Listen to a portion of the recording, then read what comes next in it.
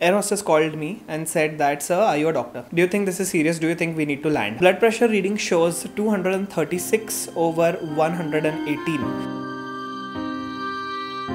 Hello everyone, my name is Anuj. I'm a final year MBBS student at Government Medical College Nagpur. Welcome back to my channel. In this video, I'll be narrating an incident that happened to me in the flight from Zurich to Abu Dhabi. It was a six and a half hour long flight, and this is one of the most memorable incidences of my entire life. Welcome to story time, and let's begin from the start. Before we go on to the flight, uh, I'll just tell you a bit. I was in Europe last month for a few days, and the last day in my Europe was scheduled to be the top of Europe, that is Jungfrau. It was an 11,000 feet high mountain. The entire group that was traveling with me was already warned that if you're not fit, do not come to this mountain. Most of us were youngsters, we agreed, but there was also one Indian couple with us. The uncle was around 65, auntie was around 55. They also said, Ki, we're going to come to Europe only once. We have to absolutely see this. They boarded the train with us and we, we all went to Jungfrau. We enjoyed a very beautiful lunch over there. We had enough time to play in the snowfall. Everything was good. But this is where it all starts. By now, auntie is good, uncle is good, I'm good, everyone is good. While coming back, auntie said that she's feeling a lot of nausea and she's feeling a lot of vomiting, just a sensation. I was the only medical student in the group of 40 and I was already traveling solo. Uh, so for any problems, uh, everybody used to just come to me. I would just give them any medications which I had. So I gave her ondansetron after which she felt good. It was all good. We went to the hotel. We were told to pack our bags because tomorrow morning we had a flight. At 10 o'clock in the night, around 12 hours have passed since we were in the Jungfrau. I go to dinner and only see that uncle is present. He's eating his own food alone. Uh, uncle said that auntie had a very severe bout of vomiting and she's not feeling good. I said, okay, it's perfectly fine.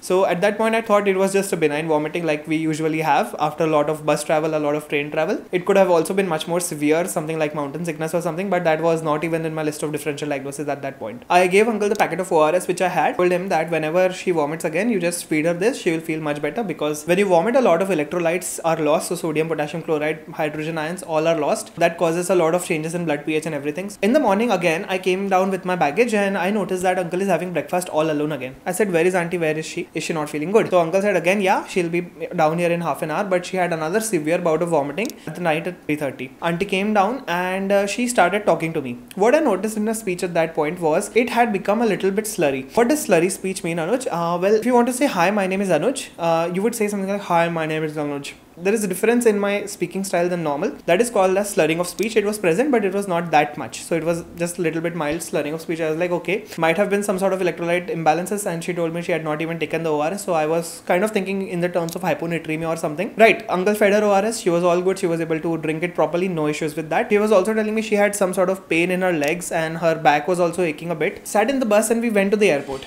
what we noticed was that she was not able to get up from the seat of her bus. So can you imagine just like one hour ago she was perfectly fine. She was able to walk. She had a little bit of slurring, but she was now not able to get up from the seat of the bus. Once she was up, uh, we could walk her, but really not that good. Once inside the airport, they ordered a wheelchair. Auntie was sitting comfortably in the wheelchair. She was at the time conscious, oriented, everything. We were in the check-in phase. We all got a check-in pretty fast, and then we went to the gate part. We boarded the flight. Up until this point, I was not really that serious about the situation because I felt like it was all under control. Thing that was really bothering me was the proximal muscle weakness. So this is th- these group of muscles which are present are called as proximal muscles, uh, and it was bilateral symmetrical. So both her hip joints were not able to move properly. One hour down the line, they start serving something sort of like a lunch, and they give out apple juice or champagne or whatever you want. You can order that in the flight. So I ordered mango juice, and uh, Uncle Auntie also ordered some sort of mango juice. What I noticed at that point was that Auntie was not able to swallow anything she was not even able to swallow her own saliva. So that was a very big, huge red flag for me that something has definitely gone wrong up here otherwise up here that means some sort something is wrong with the muscles that is controlling the deglutition process or the swallowing process and that kind of got me thinking in the direction of stroke stroke is a neurological problem that happens due to a vascular cause in short brain mein nas phat jana bolte stroke ko and I got really really worried. But still, there was literally nothing that I could have done at that point. Auntie was still comfortable. The only thing was that she was not able to swallow. Again, one hour passed. The air hostess called me and said that sir are you a doctor? I said no i'm not a doctor. There might be some person in the plane who is a doctor but there was not. So i was the only medical student present in that entire flight. There was one dentist which was present with us as well but uh, they called me and said ki you have to take care of these people. So what had happened was that auntie was again feeling that bout of vomiting but the big issue was that if she would vomit uh, and her gag reflex is gone. It would aspirate it it would go into her lungs which would be very very bad. We had to control the vomiting somehow. Thankfully we got it controlled using long तो long एक चीज़ होती है, उसको तुम दांत के पास रख लो तो तुम्हें नौशिया नहीं होता। So thankfully that control the vomiting issue but then she wanted to go to the washroom at that point what I also notice was that the weakness which was present in her legs had increase by quite a lot lot now she was not even able to stand properly even after we you know held her up we had to bring the wheelchair and then we take the took the wheelchair near the washroom and she event and she came back again to her seat on the wheelchair itself now at that point I was completely transaction from that traveller part to just a full-fledged medical student. All the bells inside my mind were ringing. Like what is wrong? What is actually happening at this point? So naturally I started doing tests to see whether whether everything is all right with auntie or not. I told her to lift her hands like this, and uh, to my surprise, she could not. She could only lift her hands just by this much. So only the distal muscles of the hand were fine. Proximal muscles had gone. So again, this moment was not here. So bilateral proximal upper limb weakness, bilateral proximal lower limb weakness. This was a classic case of quadriparesis. All the four limbs, the proximal parts at least, are not having enough power. I asked her if she has any sort of past medical history of something like this happening. Is she on antihypertensive medications which she hasn't taken, or does she have diabetes or some sort of disease which could explain anything? The answer to all was no. I just put my hand over the pulse, and what I noticed was that it was such a volumic pulse. I mean, it, you could just feel like something just wanted to jump out of that artery right now. And the pulse rate was also pretty high. The air were really cooperative at that point. They repeatedly come and ask me whether she's doing good, whether she's doing fine. I told her that her BP is definitely high you should check it but they have some sort of protocol for uh, checking blood pressure because only a doctor can do it or something like that so they did not allow me to check the blood pressure but i could definitely tell that it was it was much more than anything any blood pressure that i had ever seen in a patient so my mind kept on thinking about the causes of quadriparesis and a lot of them came to my mind the first one was obviously stroke or cerebral palsy i was i was really worried because i did not want her to have any sort of stroke or because stroke is something which is you can't really cure it you can't really recover from it that well as you can from other diseases the other disease which actually came to my mind was we went to the top of the mountain, so some sort of hypoxic encephalopathy or something or something like hypertensive encephalopathy came to my mind. Along with that, another mysterious disease was which was present in my mind, which kind of presented in the same way, bilateral proximal weakness as well as some sort of cranial nerve issues was something called as Guillain-Barre syndrome. Now you might or might not have heard about this. So Guillain-Barre syndrome is a demyelinating polyneuropathy or polyradiculopathy at this point, which causes your nerves to lose myelin gradually and gradually, and that causes you to have weakness in your body and that was something which was already in my differential diagnosis. The air hostess came to me and asked me, do you think this is serious? Do you think we need to land? I was like, I'm just a medical student. I am just making theories of my own. I haven't done a proper clinical examination. I can't really give you a proper answer to this. She was like, okay. She put me on a phone call with another medical professional. I explained them the history. I explained them what had happened to her. They said that it's going to be all right. We are already landing in just two hours, so don't worry after we get there, we'll be able to manage the situation. In this time of stress, you know, my mind just kept on telling me this for the love of God, it should not be stroke and that is all I was praying to God at that point कि भगवान please कुछ भी हो stroke मत लाना because I know that stroke is very very difficult to manage it has a it has a lot of morbidity a lot of very very bad consequences and that point I realized that what is the value of a doctor what is the value of a doctor which is on flight he his verdict will determine whether or not the other passengers get to go to their scheduled destination or just to land in some place else at that point I realized the responsibilities I had put on my shoulders by entering this profession at that point I realized that this is the only thing that I want to do for the rest of of my life. I want to help patients, I want to see cases, I want to reassure them, and I want to get to the diagnosis and treat them adequately. At that point, I realized what is the value of this one word doctor. It is much more than I can physically, practically tell you. It is something which has to be felt, and I felt that. Uncle was sort of panicking, and I had to reassure that everything will be all right. We just have to get to Abu Dhabi, and after that we'll manage.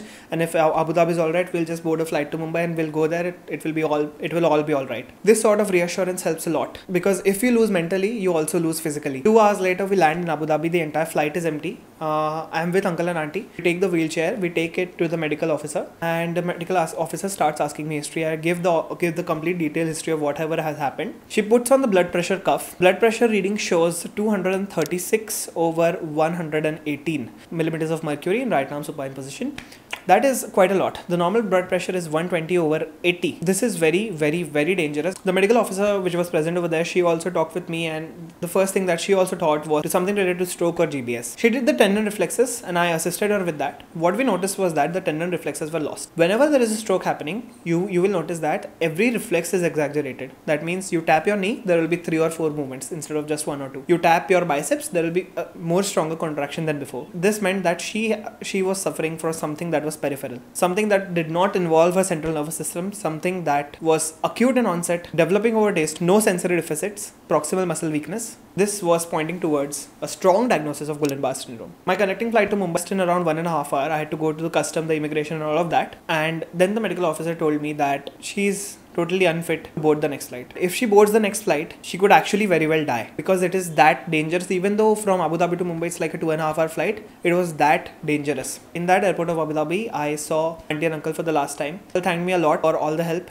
Uh, during the flight, during the course in Zurich, and all the things. And I had this huge, huge uh, burden on me. And that burden was I should absolutely be there with them and not just return to India but what should what could i do? All my flights were booked. Everything was done. My parents were waiting for me at home. So that was a moral challenge which i faced in my life. Should i stay over here or should i just go back home? Because it is sort of my duty to help them. I took my flight to mumbai and i just hoped and prayed that everything is good. They took auntie to first go for the neuroimaging that is ct scan and to just check whether or not we have any sort of stroke that is happening. Neuroimaging was done. I landed in mumbai at around 3 or 4 in the night. I came outside. I got some network. I, and they had told me that the ct scan which was done had come out completely completely normal. There was no issues with any sort of brain areas in the CT. It was all fine. I was very very relieved that it was not stroke. And just one hour later, at around five in the morning, I got a message. They have di- they have made the diagnosis. It is Guillain-Barre syndrome, and that put a smile on my face because GBS is something which is treatable. GBS is a disease which is not as severe as stroke, and I see a lot of patients of GBS recover smoothly. And